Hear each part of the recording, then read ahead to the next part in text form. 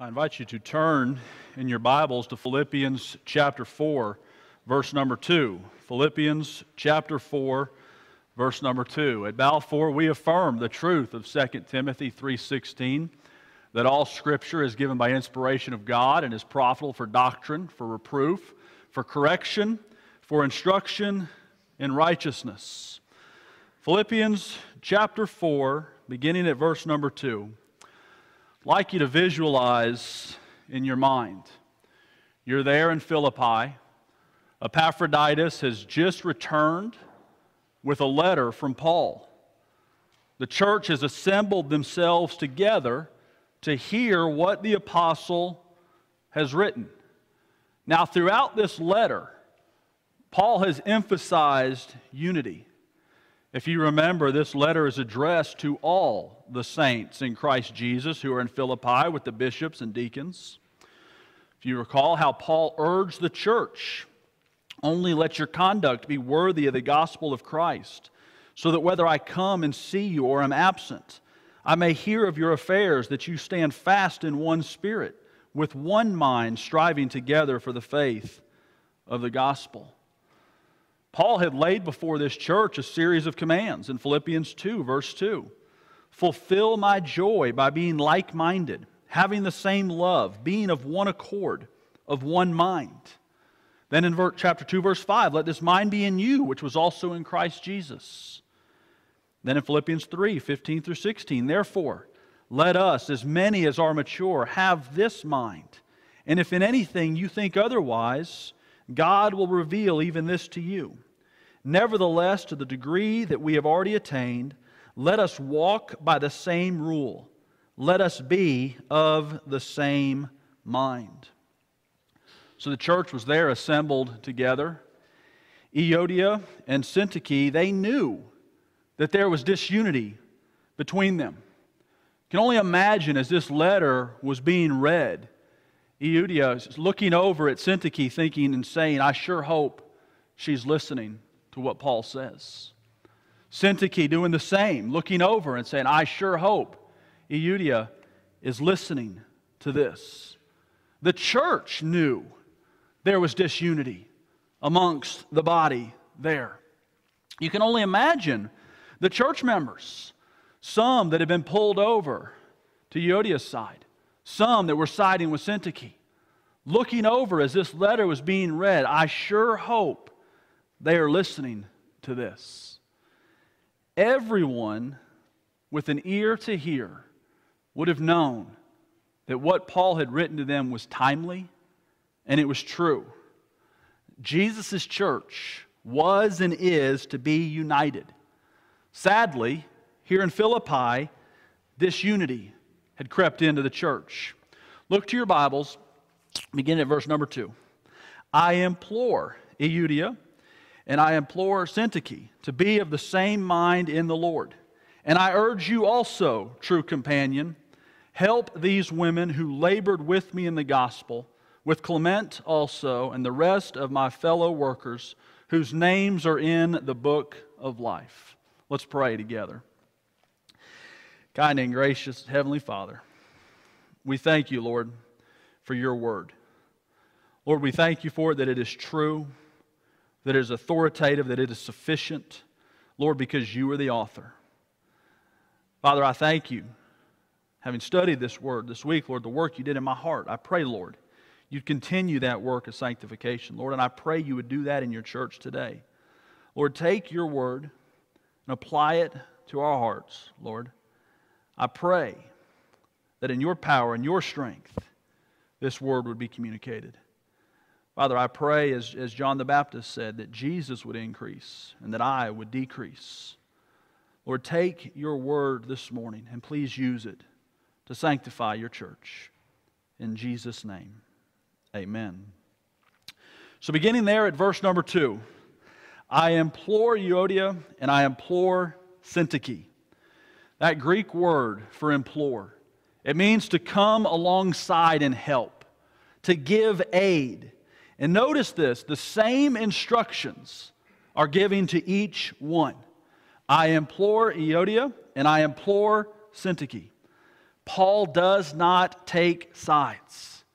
Each of them had a responsibility for the discord that was between them, and fault is not assigned. Now, this discord that was between them, we're not clear exactly what it was, but we do know that it was significant. We do know that it was causing significant harm within the church at Philippi, so significant that Paul would call these two out by name before the entire church and tell them to be of the same mind. Verse 2, Paul's implored them. He says, to be of the same mind in the Lord. This means to agree. It means to cherish the same things. It means to live harmoniously. The word translated mind is used 11 times in Philippians. Remember just a couple of the examples from a moment ago in Philippians 2, verse 2. Fulfill my joy by being like minded, having the same love, being of one accord, of one mind. And then in verse 5, let this mind be in you, which was also in Christ Jesus. And then chapter 3, 15 and 16. Therefore, let us, as many as are mature, have this mind and if in anything you think otherwise, God will reveal even this to you. Nevertheless, to the degree that we have already attained, let us walk by the same rule. Let us be of the same mind. It was important that these two women be of the same mind. This would only happen if they were to be of the same mind in the Lord. That phrase, in the Lord, is very important throughout Paul's letter to the church in Philippi. By my count, he uses that term nine times. Just a few of them here. If you'll turn in your Bibles to chapter 1, verse 12. We're going to work through a few of these passages. You'll see this term used over and over again. Chapter 1, verse 12. But I want you to know, brethren, that the things which happened to me have actually turned out for the furtherance of the gospel, so that it has become evident to the whole palace guard and to all the rest that my chains are in Christ. And most of the brethren in the Lord, having become confident by my chains, are much more bold to speak the word without fear. Turn to the next chapter, chapter 2, verse 19. But I trust in the Lord Jesus to send Timothy to you shortly, that I also may be encouraged when I know your state. For I have no one like minded who will sincerely care for your state. For all seek their own, not the things which are of Christ Jesus. But you know his proven character, that as a son with his father, he served with me in the gospel. Therefore, I hope to send him at once, as soon as I see how it goes with me. But I trust in the Lord that I myself shall also come shortly. Continues on into verse 25 Yet I considered it necessary to send to you Epaphroditus, my brother, fellow worker, and fellow soldier, but your messenger and the one who ministered to my need, since he was longing for you all and was distressed because you had heard that he was sick. For indeed he was sick almost unto death. But God had mercy on him, and not only on him, but also on, on me also, lest I should have sorrow upon sorrow. Therefore I sent him the more eagerly, that when you see him again you may rejoice, and I may be less sorrowful. Receive him therefore in the Lord with all gladness, and hold such men in esteem, because for the work of Christ he came close to death, not regarding his life to supply what was lacking in your service toward me. Turn in your Bible to chapter 3, verse 1. We see it again. Finally, my brethren, rejoice in the Lord. For me to write the same things to you is not tedious, but for you it is safe. And then lastly, chapter 4, verse 1, immediately preceding what we're reading today. Therefore, my beloved and longed for brethren, my joy and crown, so stand fast in the Lord, beloved. See, Paul had laid the foundation throughout this letter. The church there in Philippi was to be in the Lord. Remember what we looked at that last week and what it looks like a Christian's foundation. The very foundation a Christian has is in the Lord Jesus Christ, grounded in what their Savior, the Lord Jesus, accomplished when he redeemed them from sin and death. The Bible says in 1 Corinthians 15, verses 3 through 4 For I delivered to you first of all that which I also received, that Christ died for our sins according to the Scriptures, and that he was buried, and that he rose again the third day according to the Scriptures. This is grounded in the reality that a Christian is a child of God. The Bible says of Jesus in John chapter 1, verses 10 through 13 He was in the world, and the world was made through him, and the world did not know him. He came to his own, and his own did not receive him. But as many as received him, to them he gave the right to become children of God, to those who believe in his name, who were born not of blood, nor the will of the flesh, nor the will of man, but of God. See, a Christian's foundation is grounded in the reality that the Christian life is not lived by our own strength. The Bible says in Galatians 2:20, "I have been crucified with Christ; it is no longer I who live, but Christ lives in me, and the life which I now live in the flesh, I live by faith in the Son of God who loved me and gave himself for me. The call in verse 2 was for Euodia and Syntyche to be of the same mind in the Lord.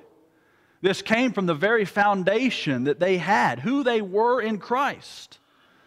Paul does not tell them to brainstorm and try to find something to unite around. They have a Savior. His name is Jesus, and He is Lord. They were to unite around Him. Here at Balfour, we have a Savior. His name is Jesus. He is Lord. We are to unite around Him. Notice also, these ladies were not being told to unite around false teaching. There's no indication in the scriptures that Euodia and Syntyche had a disagreed over a fundamental Christian doctrine.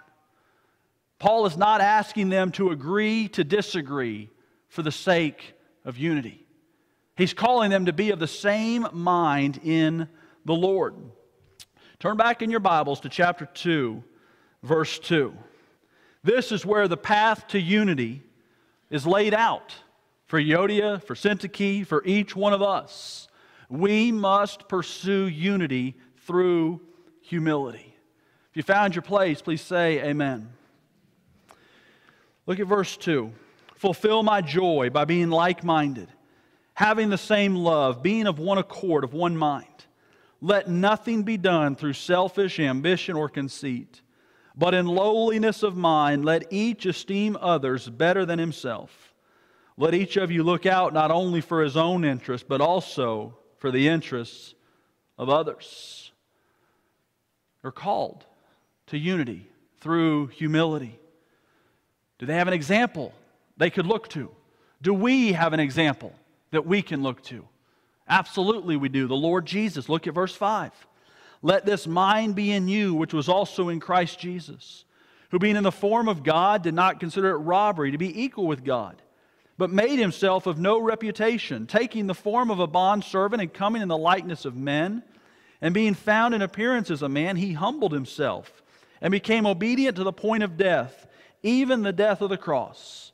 Therefore, God also has highly exalted him and given him the name which is above every name, that at the name of Jesus every knee should bow, of those in heaven and of those on earth and of those under the earth, and that every tongue should confess that Jesus Christ is Lord to the glory of God the Father. If there is discord between you and another brother and, or sister in Christ, pursue unity through humility. Set your eyes on your Savior, the Lord Jesus Christ. Confess your sin to God and ask for forgiveness. Confess your sin to one another and ask for forgiveness. The same holds true to avoid discord between you and another brother and sister in Christ. Pursue unity through humility. Set your eyes on your Savior, the Lord Jesus Christ.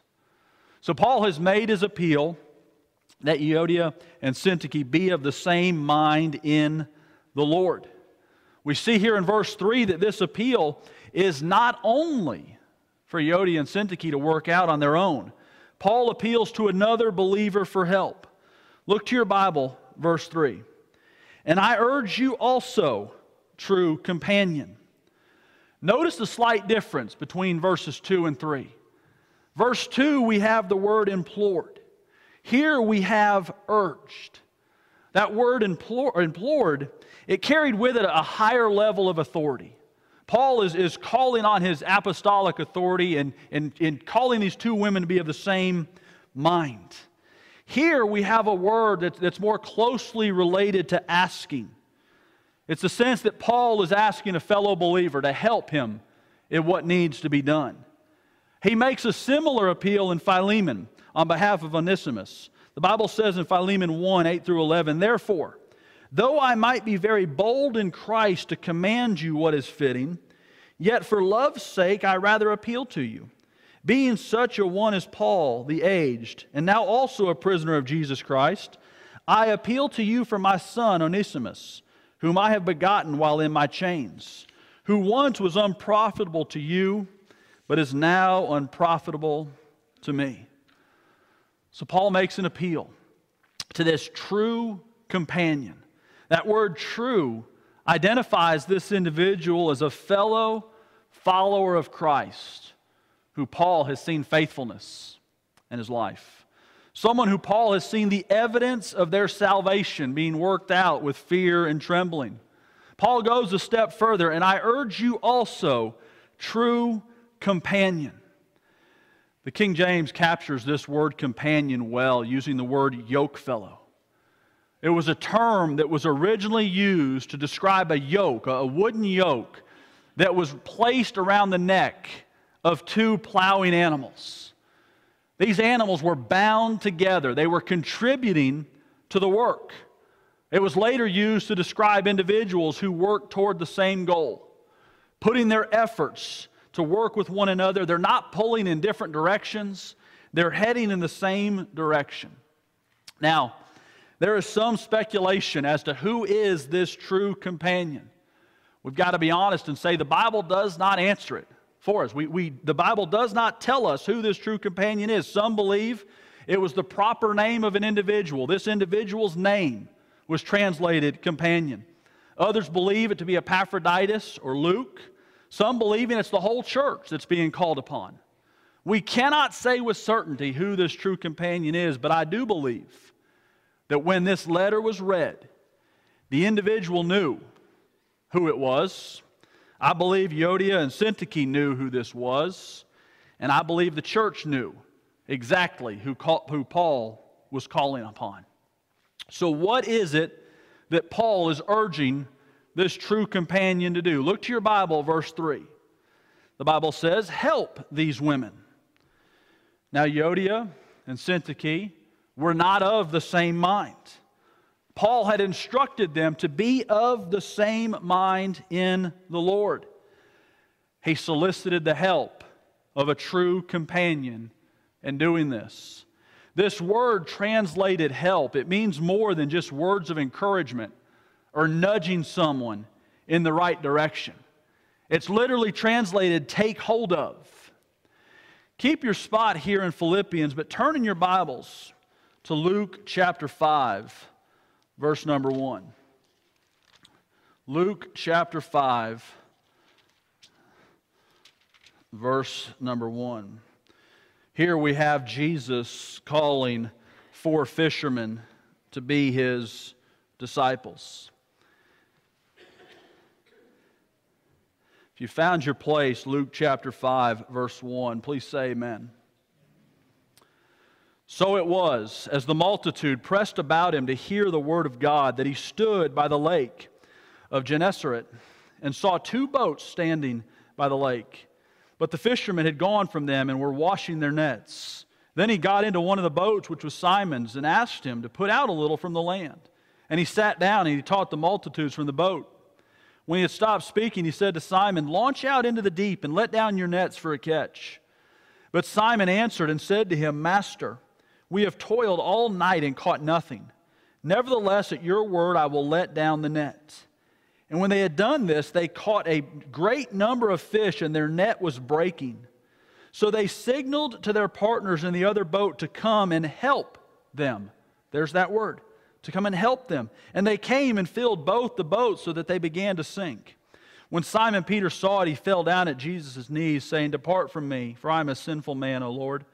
For he and all who were with him were astonished at the catch of fish which they had taken. And so also were James and John, the sons of Zebedee, who were partners with Simon.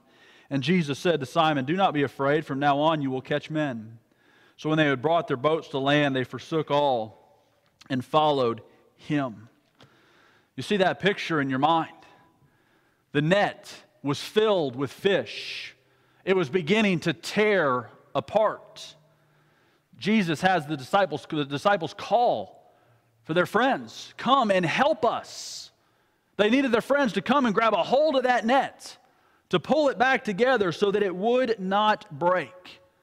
Paul is urging this true companion help these women. They're being torn apart from one another. Take hold of them, bring them back together. Don't gloss over that a fellow believer was called upon to assist. Yes, there was discord between Euodia and Syntyche. Yes, it was impacting the church. The problem was not for those two to merely work out on their own. Paul calls another believer alongside to help. Right now, in the Southern Baptist Convention, Mike Stone, who was the past chairman of the executive committee, and he was a candidate for the 2021 SBC president, he has brought a lawsuit against Russell Moore, who was the former president of the Ethics and Religious Liberty Commission of the Southern Baptist Convention. Now, arguments have been made condemning both Stone and Moore for the actions that brought them to this point.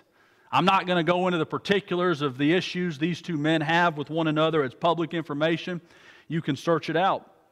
What troubles me about this situation that we see between these two men is both of them profess to love Christ.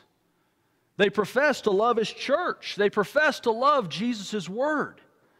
Yet the actions being taken violate the clear teaching of 1 Corinthians 6, verse 1. Dare any of you, having a matter against another, go to law before the unrighteous and not before the saints?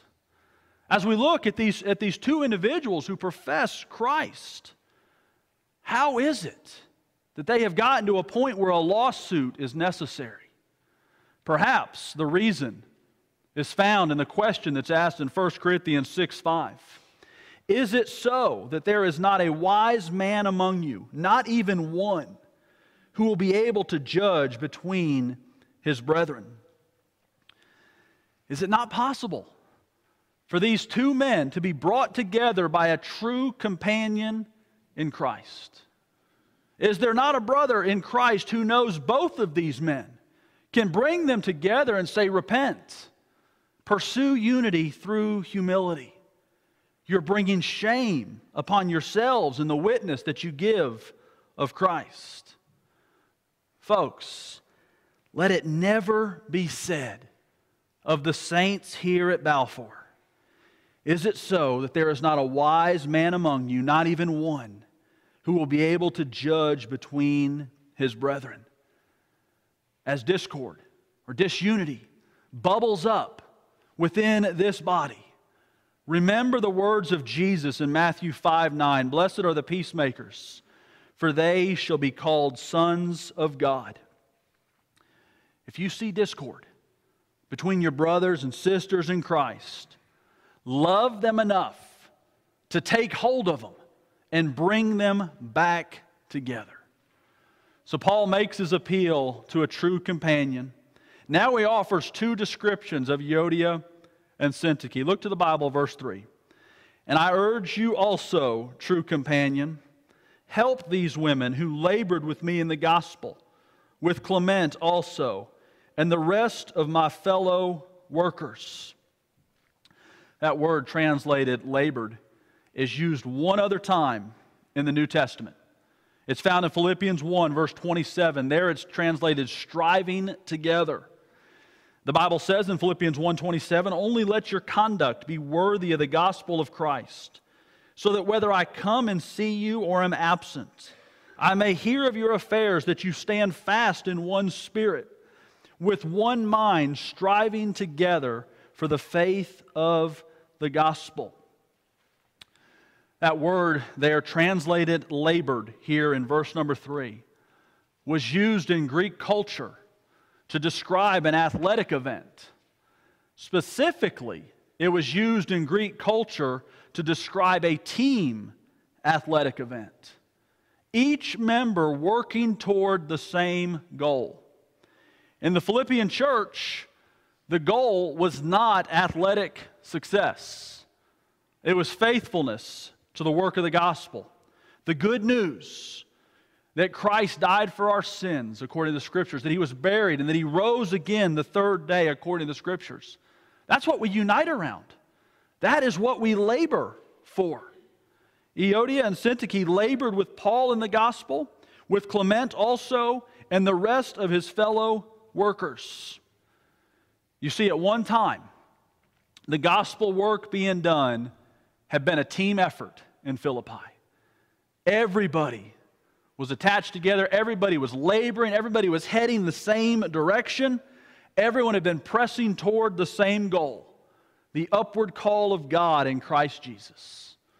So Paul identifies these two women as, as laborers. They had worked for the gospel there in Philippi. Next, look at verse 3. And I urge you also, true companion, help these women who labored with me in the gospel, with Clement also and the rest of my fellow workers whose names are in the book of life. Whose names are in the book of life. In Luke chapter 10, Jesus sent out 70 disciples to preach on the kingdom of God. The disciples returned joyfully over the fact, and they said, Even the demons are subject to us in Jesus' name. Jesus said to them in Luke chapter 10, verse 20, Nevertheless, do not rejoice in this, that the spirits are subject to you, but rather rejoice because your names are written in heaven. The Bible says in Revelation 21, verses 22 through 27, But I saw no temple in it, for the Lord God Almighty and the Lamb are its temple.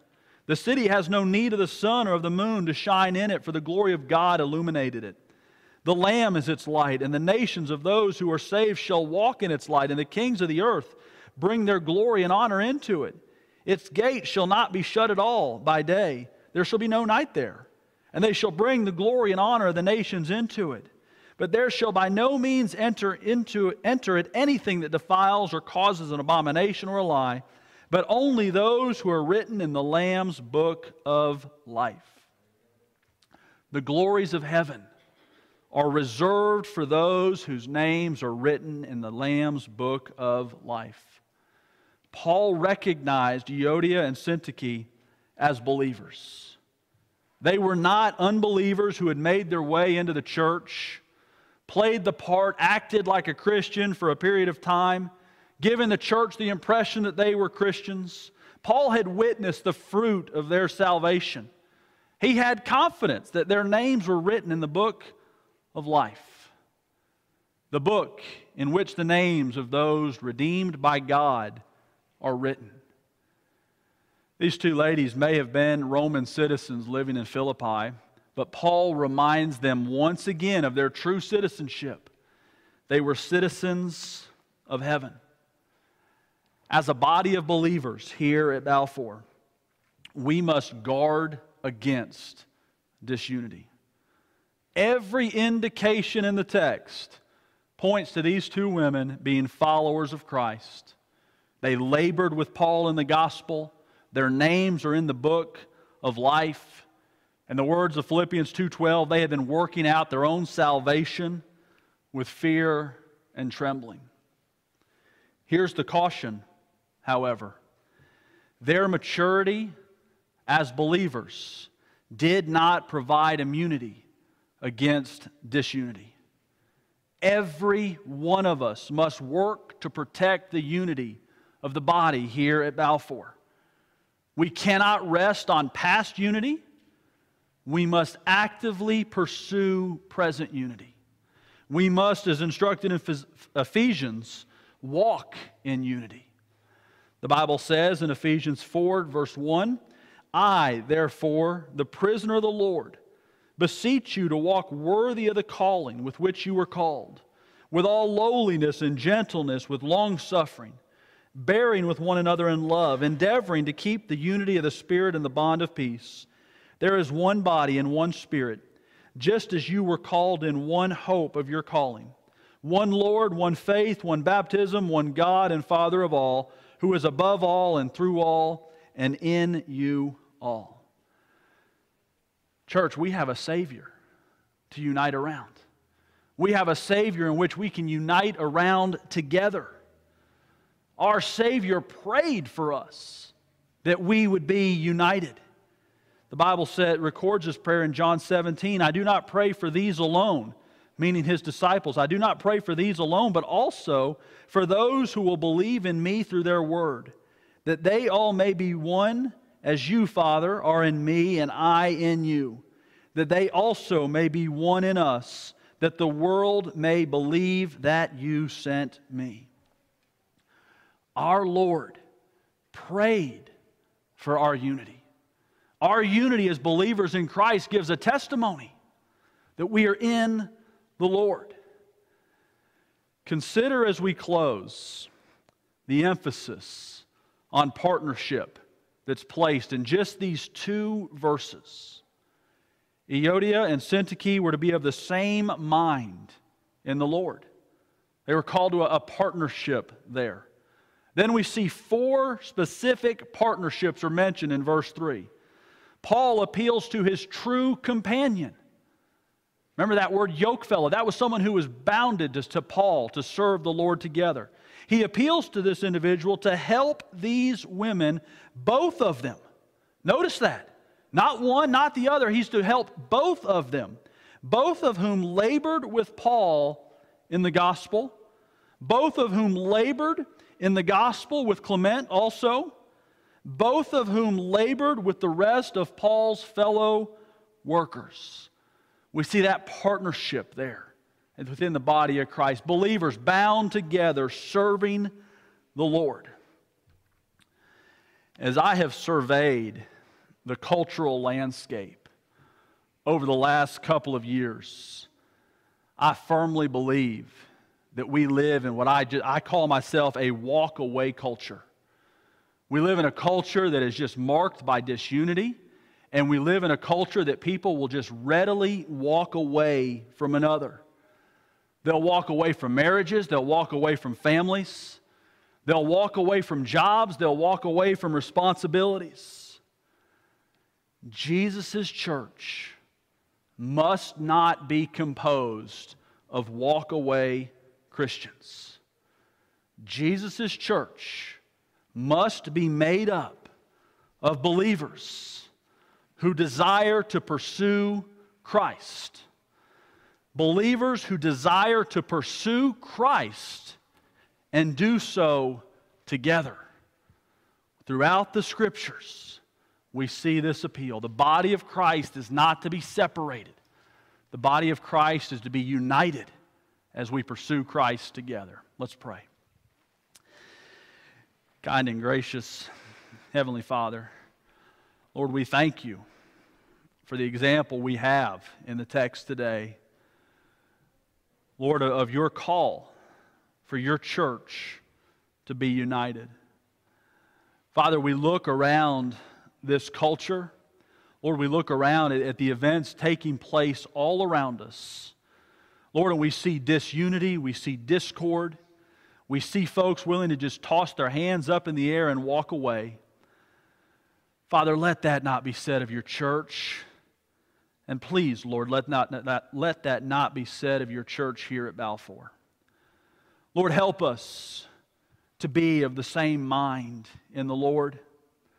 Help us, Lord, as disunity may bubble up from time to time. Lord, help there, help them. Lord, help us that there may be true companions, that there may be co laborers in the gospel that are willing to grab hold of one another and pull those that are in disunity back together. Lord, we know, Lord Jesus, this is what you prayed for. Lord, help us to be faithful, to live out your commands. We ask these things in Jesus' name. Amen.